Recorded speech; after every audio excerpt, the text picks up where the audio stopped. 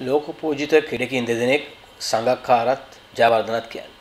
මේ දෙන්නාගේ කොන්ත්‍රාත් පදනමක් මත ජාත්‍යන්තර කණ්ඩායමකට නියෝජනය කරනකොට ජාත්‍යන්තරයේ නියෝජනය ක්‍රීඩකයන් හැටියට ක්‍රමවේදීන් සහ යම් යම් වැඩසටහනක් තියෙනවා. ඉතින් මේ ක්‍රීඩකයන් මෙහෙම කතා කරන්නේ ඇයි? ඇයි පාලකයන් පිළිබඳව යම්කිසි චෝදනාවක් නගන්නේ?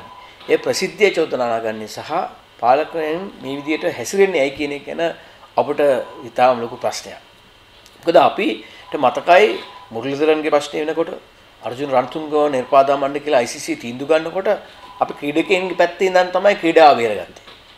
හැබැයි අද ක්‍රීඩකයන් රටට මෙච්චර ලොකු කීර්තිනාම කියලා ලෝක කුසලාන්තිරම ක්‍රීඩකයන් ආවම පාලක මණ්ඩලේ ක්‍රීඩකයන්ගේ පිටිපස්සේ හඹා යනවා හරියට නිකන් ඒගොල්ලෝ වරදක් කළා වගේ. පාඩුවක් උනන්නේ ඒගෙන් සාකච්ඡා කරන ක්‍රමයක් තියෙනවා. ඒක ලොකුවට පරීක්ෂණ පවත්වාගෙන යන්න ගියාම මේක තමයි ව්‍යාකූල වෙන එක. හොඳම දේ තමයි. ක්‍රීඩකීන්ට කාමරයකට එන්න කියලා සාකච්ඡා කරලා දෙගොල්ලෝ අතට අත දීලා ඒ පස්සේ විසඳ ගන්න එක. නමුත් පෞද්ගලිකව Taman සභාපති Taman ලේකම් මේ ක්‍රීඩකයන් අපිට වඩා පල්ලෙහා ඉන්නේ. අපේ පෞද්ගලික ජීවිතේට මඩපාරක් ඇදුනා කියලා මතයකට ගියොත් එතකොට වෙන්නේ මේ සටන දිග්ගැහිනේ. ඉතින් පෞද්ගලිකත්වයේ හැමෝම පැත්තක තියලා රටේ කීර්තිනාමයේ ක්‍රීඩා කීර්තිනාම සහ ක්‍රීඩකයාගේ කීර්තිනාමයේ පළමු කොට සලකලා එයාත් එක්ක කාමරයක සාකච්ඡා කරලා විසඳගත්තා නම් හොඳයි.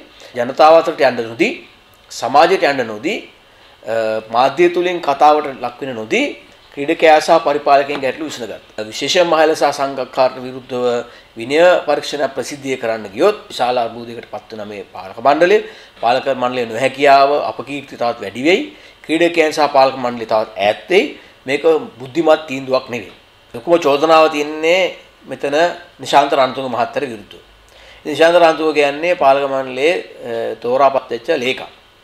ඉතින් එතකොට පාලකයාවත් බේරගෙන ක්‍රීඩකයාත් බේරගෙන කාමරය ඇතුළ සාකච්ඡා කරලා විසඳගැනීමේ හැකියාව තියෙනවා. මොකද මේක විසඳගන්න හදන ක්‍රම පරීක්ෂණයක් පවත්වලා විනය පරීක්ෂණයක් ආරම්භ කරනවා කියන්නේම බැලූ බැල්මට වරදක් කරා කියලා පාලක මණ්ඩලය තීන්දුව කරනවා මහේල සහ සංගක්කාර. ඉතින් මේ නිගමනයට ඇවිල්ලා තියෙන්නේ කතා කරලා විසඳ ගන්න බැරි වුණයි කියන අදහස පාලක මණ්ඩලය ගත්ත නිසා. ඒක වැරදි. මොකද මේකේ සභාපති කෙනෙක් ඉන්නවනම් මේකේ තේරුම් කමිටුවේ නායකයෙක් සභාපති කෙනෙක් ඉන්නවනම් විධායක කෙනෙක් ඉන්නවනම් මේවා සාකච්ඡා කරලා විසඳ ගන්න ඕනේ. මොකද අපිට මහයලා සංගක්කාරලා වගේ මහත්තුරු අපේ යුගයේ ආයි ලේසියෙන් හම්බ වෙන්නේ නැහැ.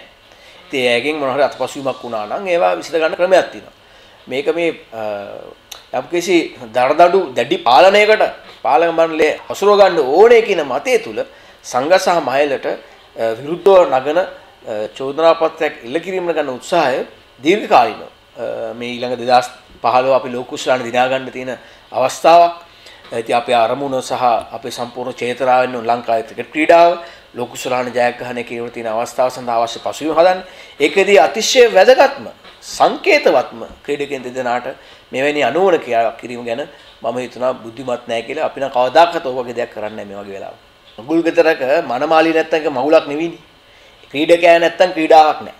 ඉතින් මේක තේරුම් ගන්න ඕනේ. ක්‍රීඩකයා තමයි අපේ අවසාන වශයෙන් ඉලක්කය. ඒ ක්‍රීඩකයන් සියල්ල එකතුලා කරන කණ්ඩායම. කණ්ඩායම සාර්ථකත්වයේ තියෙන්නේ තරඟාවලි ජයග්‍රහණය කිරීම. අපි ගිය පාර ලෝක කුසාන්දී ඉන්නකොට මුළු රටම ජාතියම කණ්ඩායමත් එක්ක අපි පෙළ ගැස්සුවා. අද ජනතාව එකතුනේ ජයග්‍රහයි කණ්ඩායමත් එක්ක.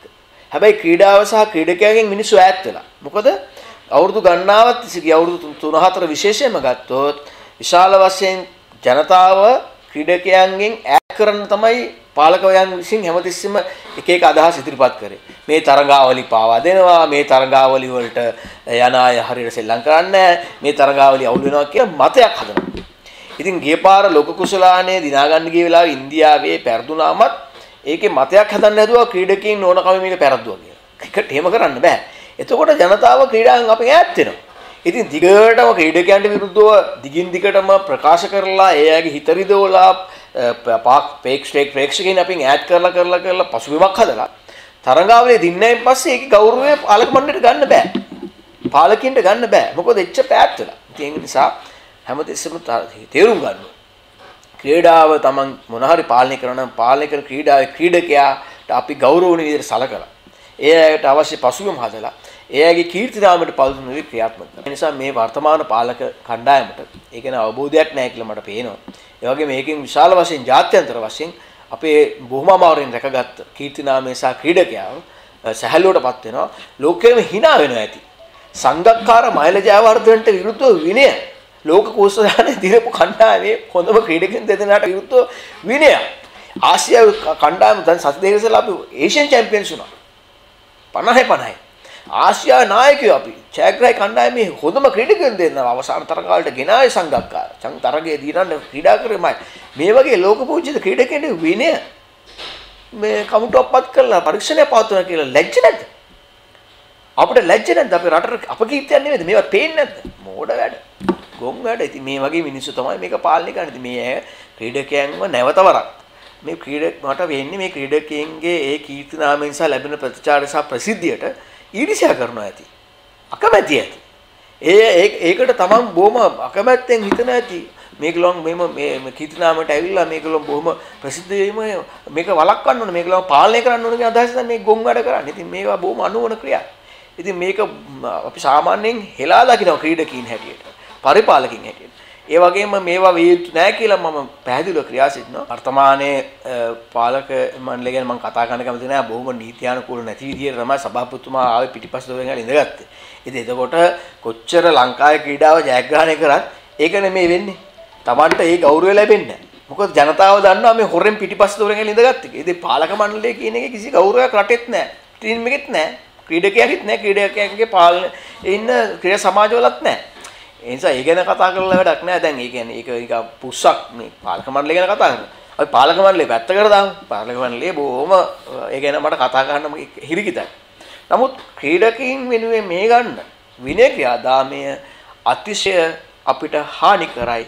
කීර්තිනාමයට ජාත්‍යන්තර වශයෙන් කීර්තිනාමයට රටකට අපේ රට ඇතුළේ තියෙන ගෞරවය ක්‍රීඩාවට තියෙන ආදරය දයාව ඒ පුට පිටිපස්ස hama යන අපේ සම්පූර්ණයෙන්ම අනුග්‍රහයකින් දැන් කල්පනා කරලා බලන්න අපිට කෝටි ගණනක් දීලා අනුග්‍රහයකෙක් එනවා අපේ ලාංඡනය ඇඳගෙන ක්‍රීඩකින් එක සෙල්ලම් කරා.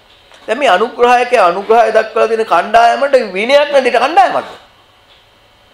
විනයක් නැති කණ්ඩායමක්ද මේ අනුග්‍රහය දක්වන්නේ. එතකොට අනුග්‍රහයකොත් හිමීට ඒ වගේකින් ඈත් වෙනවා. රටක් වුණත් ආයතනයක් වුණත් හිතන්න ඕනේ එහෙමයි. අපේ ගෞරවය අපේ කීර්තින අපි බැබලෙන තරුවක් වුණොත් තමයි හැමෝම එකතු වෙන්න කැමති. ඉතින් ඇයි මේ බැබලෙන තරුව? ඇයි මේ ලස්සන අපේ ක්‍රීඩාව සහ කණ්ඩායම? ඇයි මේම ජාතියාන්තර ජාතිය ඉදිරියේ මෙයාට මේ වගේ අසාධාරණ වැඩ කරන්න හිතන්නේ? මොලේ නැති, අවංක නැති, Taman ගැන විතරක් හිතන ආත්මාර්ථකාමී කිසිම අවබෝධයක් නැති පරිපාලන ගැන අවබෝධයක් නැති මිනිස්සු මේක පාලනය කරාම අපිට මීට වඩා හොඳ හොඳ දෙයක් බලාපොරොත්තු වෙනවා.